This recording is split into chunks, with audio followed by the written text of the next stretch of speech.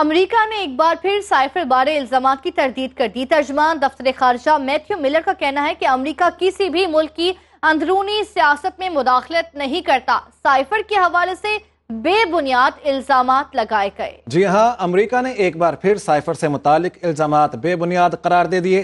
तर्जमान अमरीकी महकमा खारिजा मैथ्यू मिलर ने ब्रीफिंग देते हुए कहा कि जानते नहीं कितनी ही बार इस सवाल का जवाब दे चुके हैं। हर बार एक ही जवाब दिया है कि ये इल्ज़ाम बिल्कुल बेबुनियाद हैं। उन्होंने कहा कि फिर से कहते हैं, अमेरिका किसी भी मुल्क की अंदरूनी सियासत में दखल नहीं देता। बाखबर रहिए, हर जगह, हर वक्त, बर वक्त। अभी सोनो न्यूज़ का यूट्यूब चैनल सब्सक्राइब कीजिए और बेल आइकॉन पर क्लिक कीजिए ताकि आप बाखबर रह सकें ताज़ा तरीन मुल्क की सूरत हाल और अहम तरीन वाक़ात से। यकीन के साथ।